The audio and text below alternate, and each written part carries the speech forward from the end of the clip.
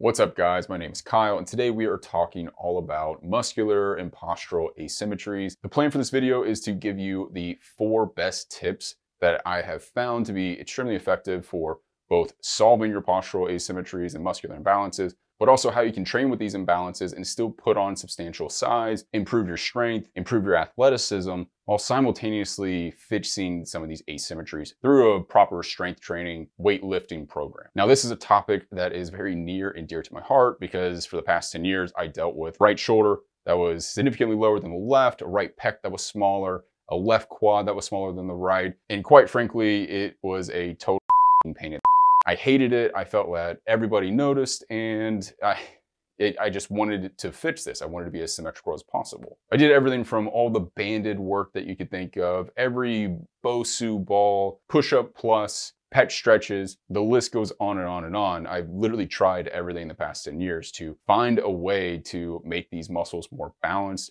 correct my postural asymmetries, and be able to do that to where I don't have to think about it. But in that pursuit, I was able to make these postural corrections, correct my muscular imbalances, control all of this subconsciously, and still make substantial strength gains, put on muscle mass, all from a well-planned and thought out weightlifting or strength training program. First best tip that I can give anyone who is trying to get rid of these postural imbalances as well as improve their muscular physique and symmetry is to improve the skeletal position or the joint position of each individual joint. Now that sounds super vague, but what we're basically talking about here is the position or the twists or how your body is creating leverage with the bones that are within it. Now, for example, in my case, which I had a right shoulder that was lower than the left, that meant that my pec muscle would then get a different pull or a different leverage than the left side. So whenever I would do a compound lift, a bench press, the right pec wasn't getting as much work or leverage as the left side. Hence the postural imbalance or the joint position of the shoulder then caused the muscular imbalance to develop later down the line as I continue to weightlift. So hopefully that made sense. And if you guys have questions as I go through these tips, please ask them in the comments below. I'm happy to talk about my experience and what I found to be helpful. But in improving your skeletal positioning, that means we need to do an objective assessment. So assessing your range of motion is extremely beneficial and really sets the stage for how you should be lifting in the gym, as well as the interventions that you might want to utilize. So this can look like putting your arms over your head. When you put your arms over your head, does one arm go up higher than the other? Does one side feel a little bit easier than the other? If that's the case and you're finding an asymmetry between the range of motion or flexibility between one shoulder or the other, or one hip and the other, then there's most likely some sort of restriction or asymmetry that is presenting. And if that's presenting without any weight and just against gravity, then that's most likely going to present itself when you weightlift and you'll have some sort of compensation to move around that. So this could look like whenever you bench press, you have, say, one elbow that shoots out a little bit more than the other side. That way you're picking up leverage or moving around, say, a limitation in shoulder internal rotation. So one of the ways you can assess your range of motion is to take a video of yourself and how you're moving. This will allow for you to watch and stop the video so that way you can see if there's any compensations occurring as you go.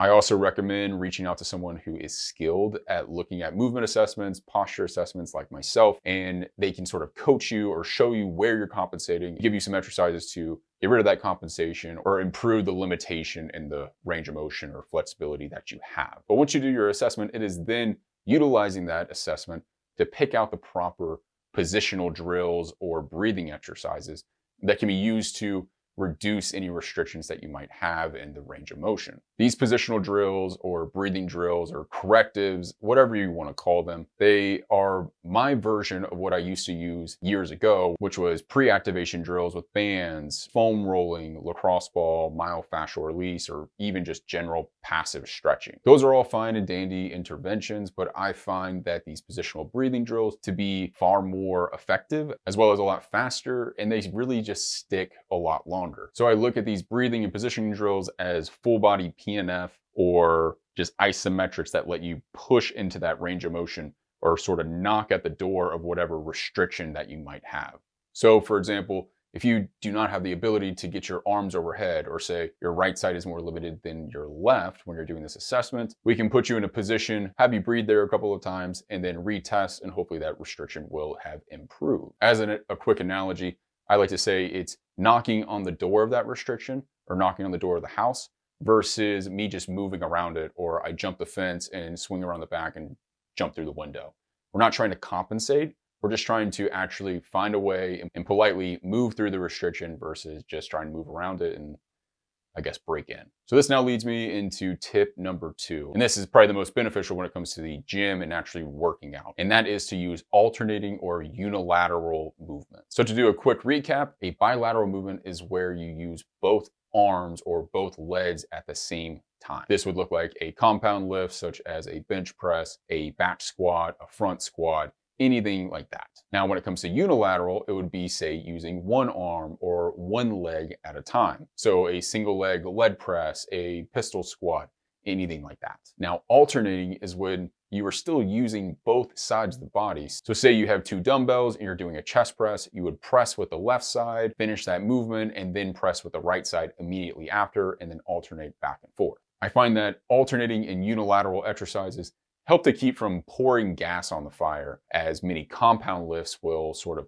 strengthen an asymmetry that you may have. So if we go back to my right shoulder being lower, my right pec being smaller, whenever I would bench press, I would really just continue to use the same strategy over and over and over. And I wasn't actually improving the position of my right shoulder or my right pec, but instead I was actually making it worse. This is because I'm utilizing a bunch of stabilizer muscles on that right side, I was never able to truly get the strength up on the right side. And just from a positioning standpoint, that right shoulder wasn't allowing the proper leverage from some of the bigger movers like the right pec. And it showed in my muscular imbalance. So switching over to alternating exercises in unilateral was extremely beneficial. Specifically, alternating is the most beneficial thing you can do in the gym. This is because it allows for one side to compress and the other side to expand and then go back and forth left to right. This has the same effect as when we walk or we run, which is a reciprocal motion back and forth. You're able to compress one side and then expand the other side, vice versa. So if we think of my right shoulder, every time I was pressing on the right with a dumbbell, and that would alternate to the left, that then was allowing for pressure management between the left and the right side throughout the set versus say if I did a bench press, I'm just pressing and all that pressure may be further down in one area versus the other side. So now that we know all the benefits of using alternating exercises or unilateral, I suggest using the 80-20 rule, where 80% of your lifts are alternating or unilateral movements and only 20% are compound lifts. This allows for you to get all the great benefits of increasing strength and overloading tissue that comes with a compound lift, you follow that up with the reciprocal motion or the more human movement, if you would, of the alternating or unilateral exercises. The compound lifts will keep you from rotating. They're sort of anti-rotation movements in many ways, whereas the alternating and unilateral movements are rotational, which is how humans move. So I utilize the 80-20 rule in my programming because I'm someone that likes a lot of rotation. It's a genetic bias that I have as well as an environmental bias just from the years of playing unilateral based or rotational sports. I played baseball, I played golf, I ran track and field where I did the 110 hurdles and I was only using my right side. So because of all this bias, I try to really follow up any compound lifts that I do with these rotational bias alternating movements. This just brings me back to neutral. It makes my body happy, keeps my joints from getting hurt in the long run, but I still am able to work the musculature, grow muscle, and overload the tissue just in a way my body accepts a little bit more than the compound lifts. Now, the 80-20 rule is not perfect. I will say it is definitely based on the individual. If you're someone who's maybe a wide infrasternal angle, you can get away with probably a ton of compound lifts, maybe a 50-50 ratio, though I'd still think you would benefit from a lot of rotation or alternating. But what I find is narrow infrasternal angles typically have a lot more of the postural imbalances, muscular imbalances, and they do really, really well with this 80-20 rule. Lastly, I will say that this 80-20 rule does change as I progress through say a block of exercises. So in one block, I might be focusing on more of a beginner hypertrophy in which I'm still hanging out with that 80-20 rule. And then in the next month or the next block, I may do more compound lifts in which I'm doing 60% alternating and 40% compound lift. This is really where we get into proper periodization in a long-term program and how you can play around with some of these different factors. Okay, and on to tip number three, and that is to use constraints and machines. Now, a lot of people are probably thinking, what are you talking about in terms of constraints? That sounds a little weird. And holy crap, Kyle's talking about machines. Like we've all heard that in the past 10, 20 years that machines aren't functional at all. Well, I have to 100% disagree. Machines are absolutely fantastic and constraints aren't as weird as they sound.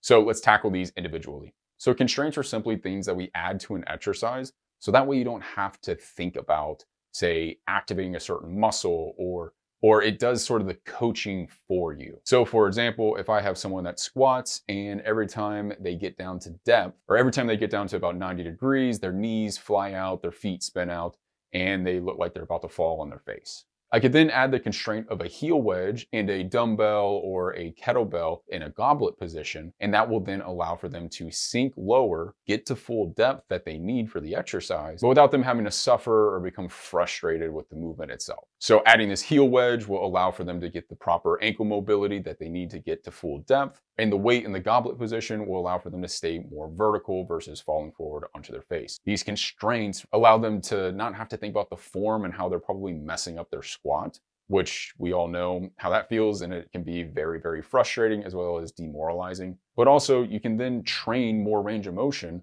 which is better from a hypertrophy standpoint in which we're trying to balance out some of these muscular imbalances. So constraints are a wonderful tool and there's many ways you can do that, which leads me to my next point, which is machines. Machines are basically giant constraints. Whenever I do a leg press, I don't have to really focus on a lot and the bench or the back of the leg press allows for me to complete the movement without having to bring a ton of stabilizers to the exercise. Now you're probably thinking, well, stabilizers aren't those good? And we want to train all of those when we're doing these big lifts. Yes and no. If you have postural imbalances, many of times the stabilizer muscles will act up a little too much and they try to take over because the main primary movers are smaller, not strong enough to really get the movement done. So again, we go back to the bench press example where my right shoulder is lower, my pec is smaller, it doesn't have as much strength as the left side. So what am I going to do whenever I start to fail on the bench?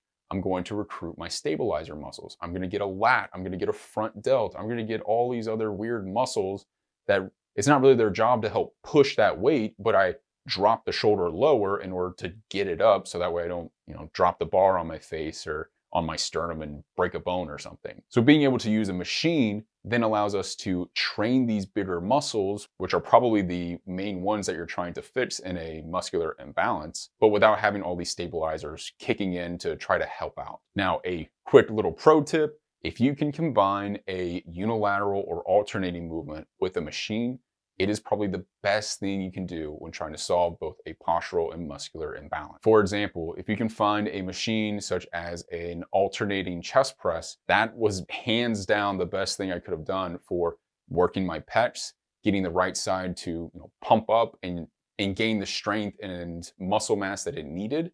So please do not be afraid of the functionality of a machine and worry about all that. They are some of the best tools that are in the gym and I cannot recommend them enough. And lastly, tip number four, and you guys are probably gonna think this is a cop out of some sort, but hear me out because all these other ones are great from a leverage and what you can do in the gym setting. But when it comes to these postural imbalances, many of times it comes from stress. For example, when I go out and I run sprints or I do extremely, extremely heavy lifting, activities that are very intense on my body, this will cause a stress pattern to occur. That stress pattern for me is dropping my right shoulder. Now you might be wondering, well, Kyle, didn't you fix this? Yes, I have. I can walk around on a daily basis with my shoulders level but still, when I hit these higher level activities or more intense things where I'm having to breathe very heavy, it still comes back. And that's completely natural. That's normal. And it is my body trying to pick up leverage from the muscles it trusts. So if your goal is to be as symmetrical as possible or reduce asymmetry that you're potentially stuck in, then reducing your stress is the most key thing you could do. This is because your body will be that much more accepting of any intervention that you utilize in the future. So doubling down on how much sleep you're getting, the quality of sleep, and if you're actually getting into proper REM and deep sleep cycles. That is step number one when it comes to setting up an environment and reducing your stress. Number two, proper nutrition. If you're going to the gym and your nutrition is not on point, say you're always in a caloric deficit or you're just eating a ton of junk and your body's having trouble processing it and you're always bloated, these are factors that are going to cause your body to have more stress. So when it comes to exercise, which is technically a stress on the body, a good stress that is, if you have all this bad stress that really is just taking up your tank and it's hogging everything, then your body can't really do anything with the good stress that you're putting it through. And instead, that good stress can just add on as a bad stress and it'll lock you up in your ranges of motion in your posture, as well as other factors of your life. So please do not sleep on setting up a proper environment, your nutrition, proper sleep. Those are the foundational components. If you don't have that on lock, all the three tips that I said before this will probably not work nearly as well as they could. So in summary, we want to have a proper skeletal positioning for each individual joint. That is, make sure they're aligned so that way muscles can get proper leverage when you work them in the gym.